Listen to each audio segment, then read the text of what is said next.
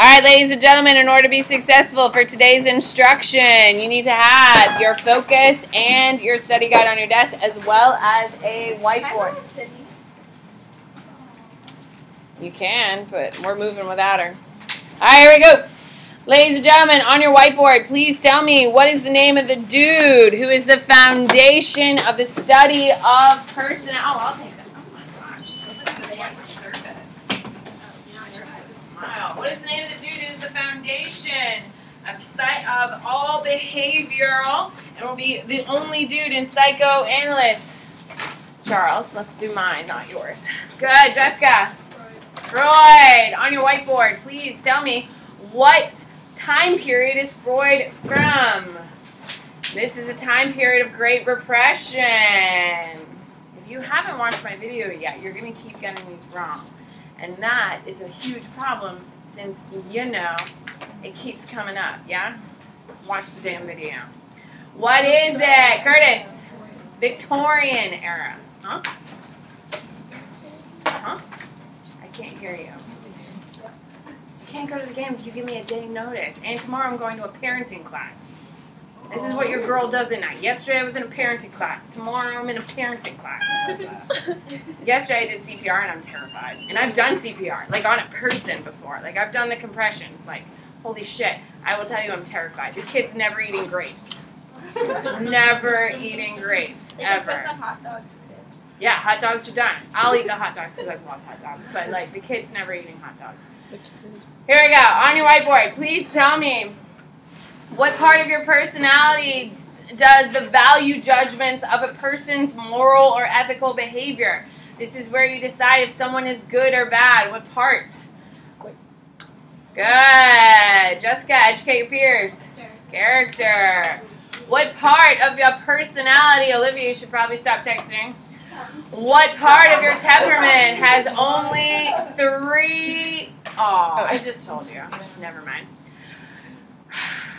Your personality, according to Freud, is broken down into three major sections. What are the three major sections of your personality? Do not erase them after this question, by the way, because we're going to put stars next to things. Good. What is it, Ian? It's not ID, it's id. Yeah, it's fine. It's fine. But I will, you know I don't correct you on most things. Can we agree? There are a couple of things that you actually have to say correctly. Freud and id are two of, like, I think I have four things all year that I'm like, you have to be correct on. Those are the two big ones, Freud and id. Okay, so id, ego, super ego. Put a star next to the one. That is being pulled back and forth. Sometimes it goes with one, sometimes it goes with the other. What is it, Kelly? Ego. Ego. Put a star next to the one. That is known as the angel on your shoulder. Good. Kaylee. Super ego. On your whiteboard, please tell me what, where does your conscience exist? According to Freud. Good, Jalissa. Super ego. On your whiteboard, please tell me what is controlled by your libido or your sexual desires. Good, Jalen. Id. On your whiteboard, please tell me which one do we, our present self, have control over? Which one are we? The people who make decisions. Which one are we? Lindsay. Ego. On your whiteboard, uh, actually wipe your whiteboard because those answers aren't going to work anymore. What am I describing? It's the principle by which the it functions, the immediate satisfaction of needs without regard for the consequences. When you're just like, treat yourself! and you just like live your best life even though you know this isn't going to work out well, but you just don't care. Emily, pleasure, pleasure principle, what? Ego. Conscience is super ego. Pleasure principle is ego. Your ego, reality principle is what is in charge of the ego. Is your id. Pleasure principle is your id. It's all animalistic. Yeah, it's completely unconscious. And then ego is conscious. Super ego is also unconscious. It's not pre-conscious. No, no, no. Those are two different theories. You're mixing two theories. You're mixing two theories. Preconscious, conscious, and unconscious are, is a theory. Then we go into your eight ego, superego. That's theory number two. Then we go into your psychosexual stages. That's a third theory. Third, three separate. Today we're getting into the fourth, which would be psychoanalytic. You're doing a total of five for Freud. So there's five major things you need to. So they're separate. Now are there overlaps? Yeah. Yeah. Because he's he's one guy coming up with all these theories, and you know he thinks all of this comes in a perfect system and stuff like that. But we're gonna keep them separate. Okay. On your whiteboard, please tell me what is part of the super, super ego that contains the standards for moral behavior. What do we call that? Good. I got one, two, only two, three, four. Kelly. Ego ideal. Ego ideal on your whiteboard. What is the principle by which the ego functions? The satisfaction of the demands of the id only when negative consequences will not result. It is you trying not to be bullied every day. The outfit you picked on today. Okay? How you talk to your friends. You don't want to be made fun of. What is it, Ian? Reality principle on your whiteboard. Please tell me. What is it called if you do not naturally progress through the psychosexual stages? What do we call that when you don't naturally progress the psychosexual stages? Luke. Fixation. On your whiteboard, give me all five psychosexual stages in order.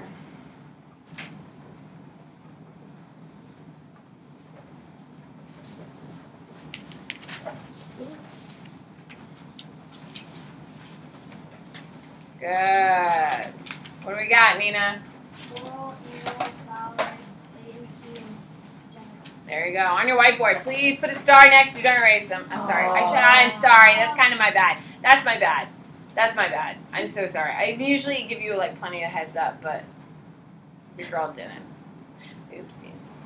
All right, put a star next to the one where uh, you are one to three years old, in which the uh, train toilet training is the conflict. What do we got, Annie? Anal on your whiteboard. Please tell me where is there is sexual repression and a focus on social development. Corinne, Latency. latency on your whiteboard. Please tell me which one has is where the id is the most dominant. Good. What is it? Sophia, oral on your whiteboard. Please tell me where does the ego begin developing? Good. What is it? Camden. Anal.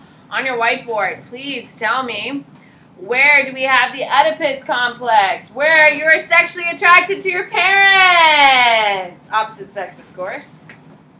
Good. Which one is that, Madison? Phallic. On your whiteboard, please tell me what stage are you in? And you will be until you die. You hit puberty, right? As long as you hit puberty, you're in it, according to Freud. So if you haven't hit puberty, well, this is awkward for you in many ways. I'm pretty sure I see a kid every day in fifth period who has not gone through puberty because he's like this tall. Have you seen that kid? Yes. They're so sad. There's a few of them. Is there a few? There's a lot of them. Yeah, freshmen are very short. Very short. You also get taller every year, by the way. No, but they're So, really just really putting it out It's there. tiring. What stage are all of you in, Curtis?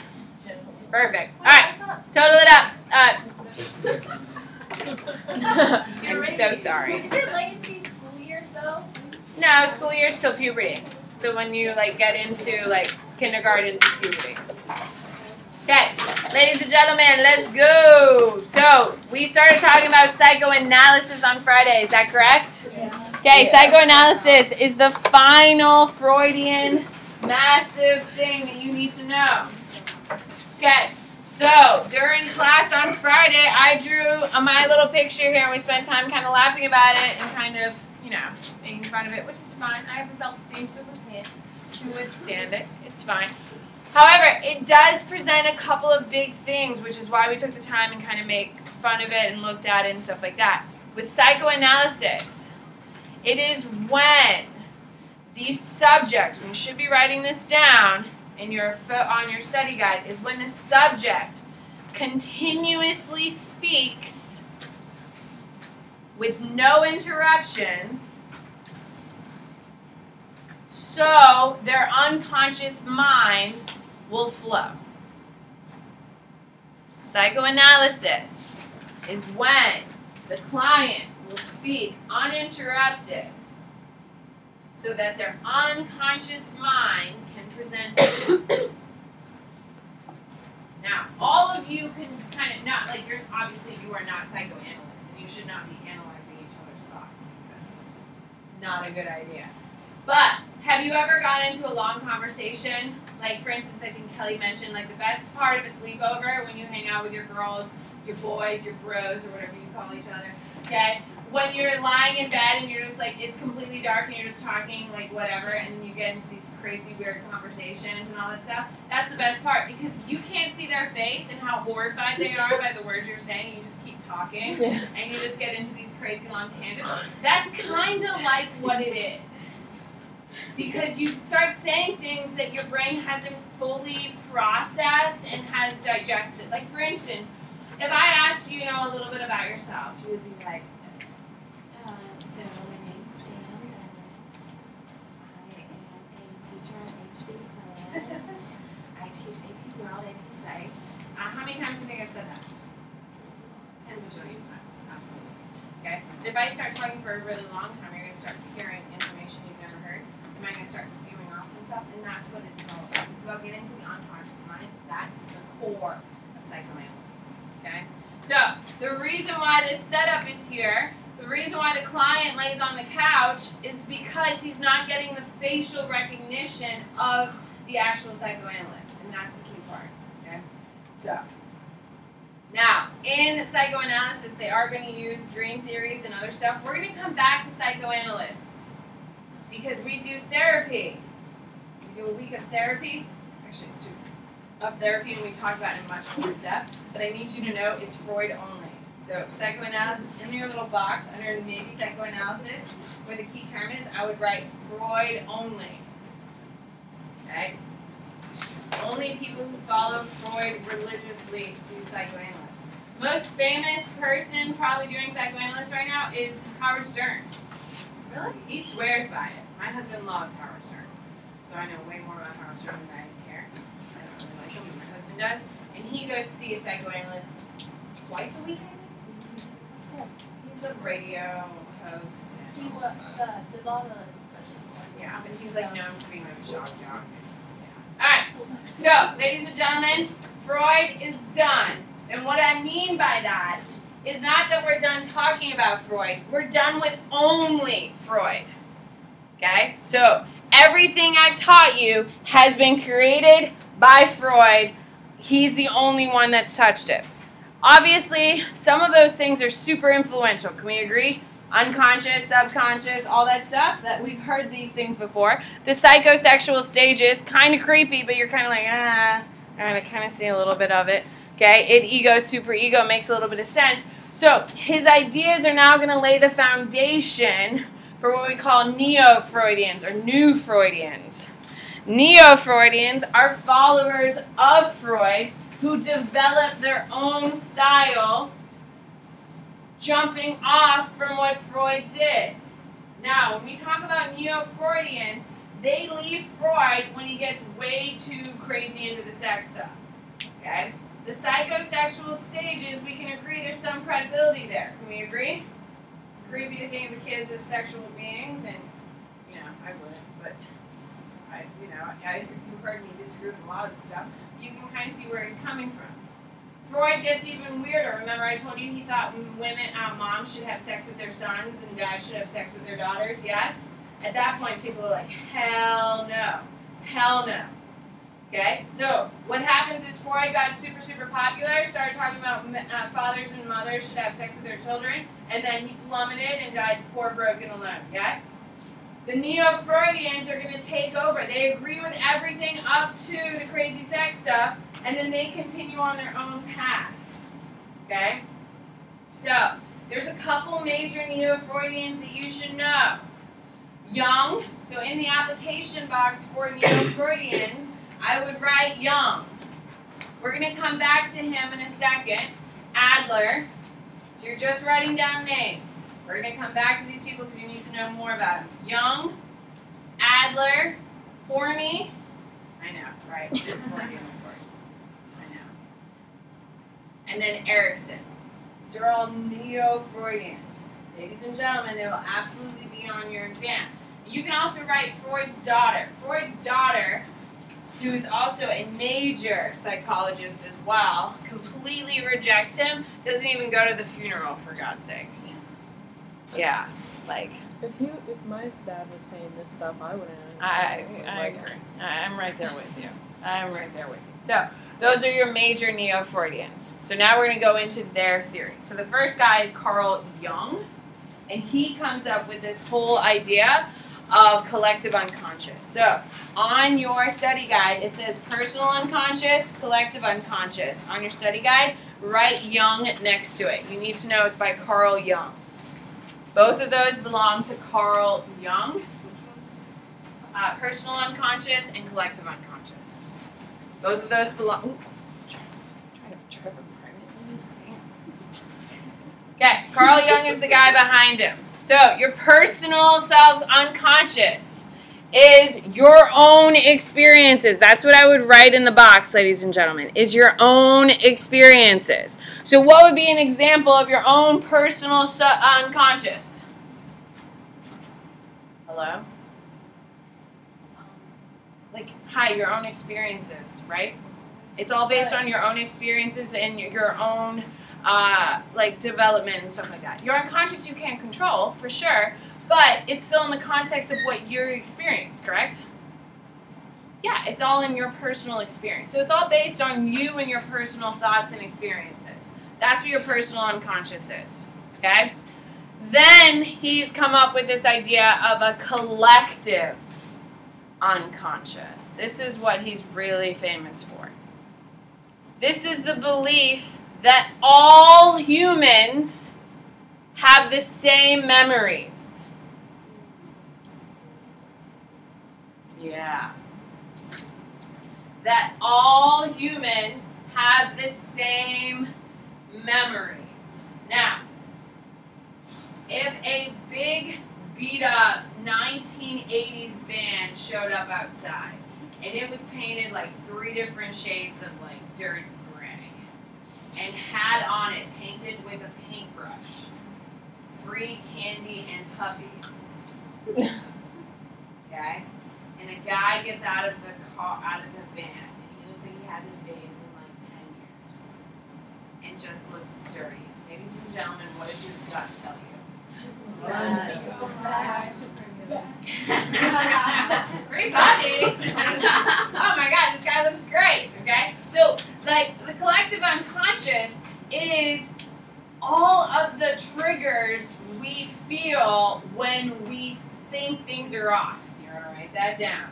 That is when the, the triggers we have when we see things that are off. So if you see a big van driving around that says free candy and puppies, you're like, that's a child predator, right?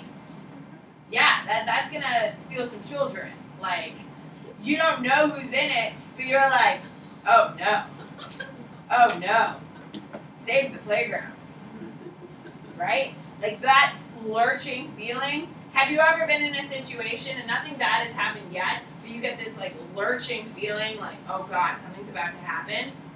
That's what Carl Jung says is your collective, uh, co- collective unconscious. That our ancestors experienced things like this, and that's why we get those warnings. It's kind of interesting. What do you think? You don't like it? Hayden's like, oh, this is bullshit. I agree. I don't really like it that much. Okay? So, archetypes. Archetypes are like, who are the villains? Okay, when we think of villains, we think of guys with like facial hair, correct? That's what we see in the movies. You know, they have like perfectly, you know, yeah, like the perfectly manicured facial hair. You know, like either the mustaches or the perfectly shaped beard. The eyebrows are like super like landscapes and stuff like that. You're just like, ah. No, you don't think that. So what's that have to do with? Orange. It's an obligation. Application. No, what? Archetypes? It's like evil men are like super tall, lanky, like evil women are like super teeny tiny, everything's perfect, and they're like going to like lead to, you know, uh, what do we call women who suck the soul out of men? Besides Kardashian. Succubus. Succubus. Huh? What? Yeah. Sorry. Yeah, there you go. What? Wait, wait, I'm, I'm lost. what is this, like? Archetypes are like your big, generic categories. They're just like your big generic uh, categories that we put people in. So, for instance, like archetypes would be, you know, if we saw a girl, oh, uh, like a third, a forty-year-old lady with perfectly curled hair, with perfectly parted, wearing an apron and a cute dress, and had a set of pearls on, we're immediately thinking she's a housewife. Absolutely. Okay? A man in a perfectly tailored suit, perfect tie, briefcase, businessman. Those are all archetypes. Okay? Those are all of our ideas, our concepts that are inherited. So They're not. They're pretty much the same. That's everybody's the. Alright, so your next person is Adler. She comes up with, uh, oh, he, just kidding. Adler is all about birth order. So in the birth order box, I would write Adler in there. This one I completely, wholeheartedly agree with. Here we go. Adler believes that inferiority is the driving force behind personality, and it is based on your birth order. So, if you are not, raise your hand if you're the oldest. Okay. Adler would say, because you got all of the attention when you were born, you had both of your parents' attention, the fact that all the gifts were coming to you, everyone was like, oh my God, you're the first. This is so exciting. You have more confidence. You have more drive than your brother and sister. and you Anyone a middle child? Yeah. Ladies and gentlemen of my middle people, do you feel like you're constantly competing and getting no recognition? Yes! Middle children, we are super competitive. Would we agree? Yes, we are. We're super competitive because if we don't shine, no one acknowledges us. Who are the babies? First of all, no one likes you. If you're the baby of the family, ladies and gentlemen, they say that you are less motivated and more charismatic than the others. Because you have less stress in order to perform because you've already been given that attention. And how you keep the attention is by your wit and charisma. This is perfect in my case. My brother is the most self confident person I've ever met for no reason. He should not be near me as he is. My sister is entitled. The youngest. Yes. She just thinks like, oh, well, I'm the youngest, I should have it. Things haven't been that hard for her. I got jobs. My sister just took over my job. She was a lifeguard with me, for God's sakes. Who got her the job, Jalen? It was me. Every job she's had, I've, I've been a break, except for her newest one. She's 32! No, she's not. She's 31. But that's fine. Okay, so that's Horney, and he is your birth order. So your birth order. What do we think? Adler. Adler, sorry. What do we think? Partly, yeah. You see a little bit to it? Annie, what do you think? No one likes you. No one likes them. I'm just kidding. Um, that you're gonna be self, like you're gonna have good self-esteem and stuff like that because you're your parents' entire world. Yeah, pretty much. Which makes sense. Think about how much attention you have. If you're a middle child, you probably agree. Would you agree? You don't I feel agree? like the youngest is up for interpretation. Bullshit. No. It's coming from a youngest. Yeah. It's coming from a youngest. No, the youngest. My sister doesn't do anything. Okay, but like what you said about like. Do you know how much pressure it was for me to hurry up, get out of the house, get married? I mean, they've been asking for a grandbaby since like for seven years now. And you know how much pressure that shit's been in? My sister, Okay, my sister is 31, unmarried, like finally got like a real job, like finally on her own financially. Where was that pressure? Okay? I have been independent since 18. I think it's something. I think that's every single day in her high school year. She didn't do shit. Every day. Every day. But didn't do anything. So,